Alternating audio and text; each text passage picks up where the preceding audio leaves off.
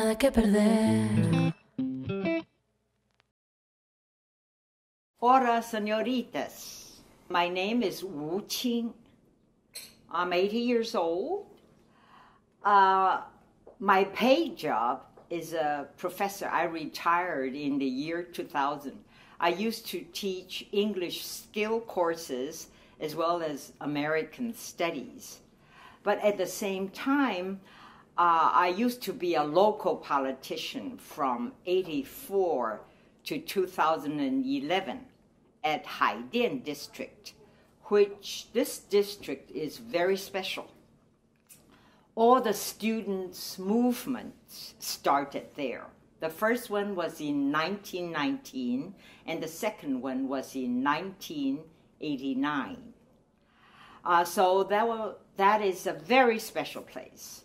And I got democratically elected many times, and that was rare, very rare. And then uh, at the same time, I was a gender specialist for uh, Canadian International Development Agency. I think that role has played a very important uh, stage in my life because with that role, I could go to rural areas. So in 1990, I went to Gansu. It is a province in northeast China, northwest China, I'm sorry, and it's a very dry area. With rain, there's a harvest. Without rain, there's famine. And I went in the summer of 1990. I went to a village in Huining and I saw poverty. People didn't have enough to eat and uh, water was scarce. Sometimes people just had to walk about one day just to get sometimes, you know, this one glass or two glasses of water. Uh, but I couldn't read news about that either in the paper and I couldn't watch it on television. I couldn't hear it over the radio. It was disclosed. But that I was shocked. But I since then I know that is my responsibility to make changes because I am a citizen. And now actually I want to be a global citizen because the world is really getting smaller. It doesn't mean that it's shrinking in size, but because of IT, like now with Facebook, with Google, which cannot be used in mainland China, but now we have WeChat. Anything that happens in one part of the world, we could know about that in one or two seconds. And that's why I have more responsibility because I want to change. I think this world has to be a place where both men and women, especially women and men, should be equal. So education is very important. Education helps to bridge the gap of inequality. So there should be equality, development, and peace for people throughout the world. Uh, and for the, that kind of work that I've been doing, I got the uh, Ramon Magsaysay Award in 2001, which is the Nobel Prize in Asia. And then I was chosen by Schwab Foundation in 2003 as one of the world's outstanding social entrepreneurs and then I got more prizes. But that is the past. It's over. I just want to do more because that's my responsibility. Uh, I think I'm very lucky to have my parents who had taught me to be a responsible person. Uh, actually, when I was a little girl, my mom told me that I am a human being before I'm a girl. And boys are human beings first, before they are boys. So boys and girls are equal. And that's why wherever I go, I take this along with me. This is Universal Declaration of Human Rights. So being a girl or a woman, we have to know that we are born with all the rights in this world. We are no worse than men because we are a human being. That's most important.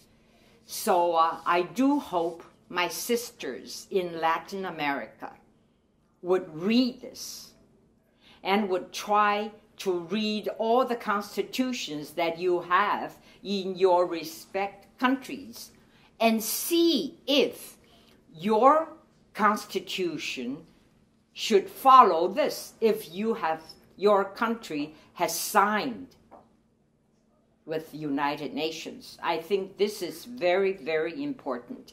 This is the Bible that helps you to protect your own rights. This is important. So I think, you know, I always carry this with me. And another one is this. This is the uh, Convention on the Elimination of All Discrimination Against Women. So this is also important, right? So you have to protect your own rights. And I would like to tell you actually, I when I was on the board of Global Fund for Women, which is based in uh, San Francisco, the United States, uh, we had an outreach trip, and I went to Uganda, Uganda, Rwanda, and Zimbabwe. My trip to Rwanda and Uganda made me want to be a global citizen because I saw, I went into a square that I saw the massacre that took place in 1994. So many people had been killed. So I think being a human being, we have to speak up. And at that time, a lot of countries, the governments of a lot of countries, didn't speak up. So I think it is so important to know that no rights are granted or given. You have to speak up and you have to stand up. You have to fight for the rights that are clearly stated in the Universal Declaration of Human Rights because we are a human being. And now I would like to tell you a story about myself. When I was about two, a little over two. My parents, uh, we were in Yunnan. It's a province in uh, north, uh, southwest China, which is warm all the year around. When I was about two, uh, when we stayed in Yunnan, Kunming, it's in the outskirts of Kunming. One of our neighbors had a little dog and I just loved it. But it was not mine. I wanted to have my own dog that would follow me every single minute. So I begged my mom to let me raise a dog. My mother said, Yes, of course you can raise a dog, but you have to do four things. You have to promise me and you have to keep the promise, or else you will not be able to raise the dog. I said, What are the four things? Number one, people eat, the dog eats. So you have to feed the dog. People drink, dogs drink. So you have to feed, provide the dog with water. Number three is that dogs and human beings are different. Dogs have fur all around, so you have to brush the dog. every single day. And then the last one is that we lived in Chenggong, that's in the outskirts, and there were woods around, there were wolves. So my mom said, You have to get the dog home every single night, or else it might be eaten up by the wolf. I said, Yes, I would do that. So that was a promise, and I kept it. So that was my first oral contract with my mom. So to me, I feel contract is so important. Contract means if you make a promise, you have to keep it. You always have to remember it. It's a commitment, it's a responsibility. And that has made me feel that I am I responsible, if I were a responsible person, I just had to keep it. And that has been with my life, all my life. I think that's important. So I think it's important for mothers, especially young mothers, to respect your child or children because children are also human beings. So your children are not yours. They are individuals. They have their own ideas, but you can advise them to do things.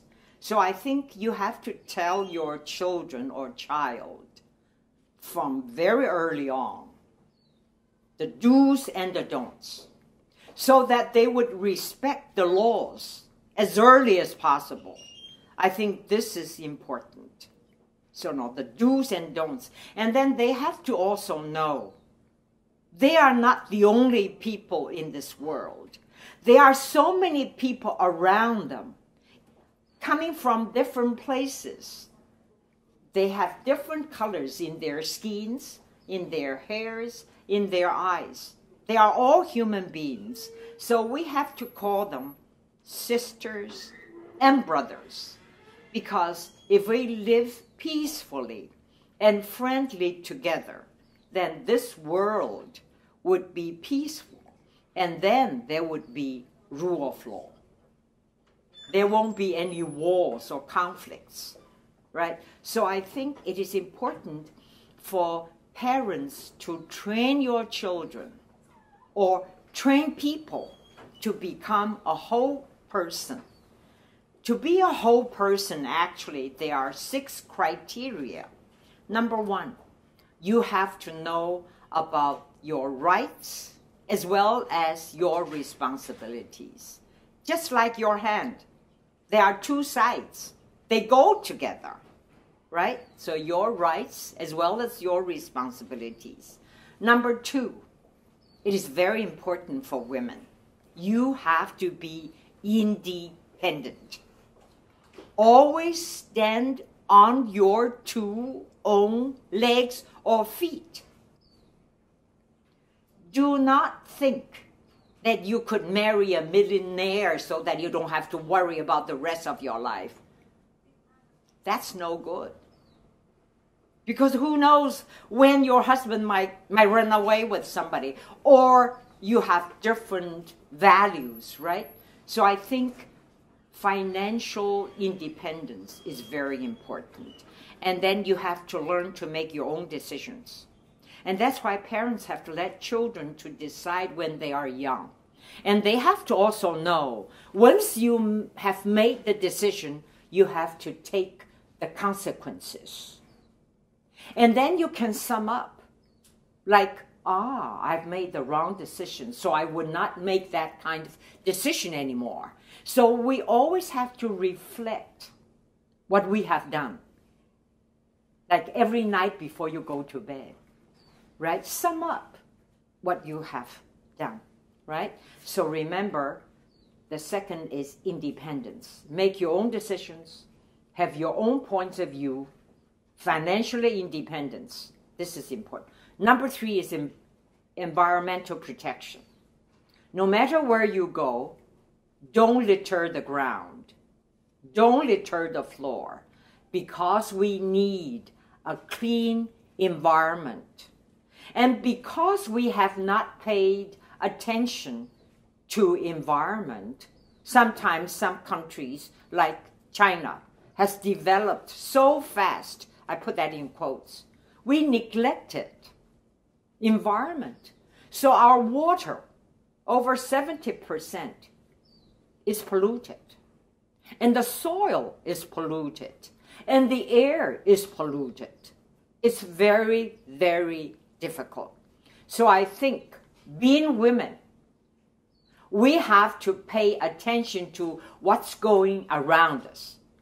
Development has to have a woman's face. Women have to be part of decisions for development. You have to try to get in there because they would not invite us. They would not. Sometimes they do, but sometimes they don't.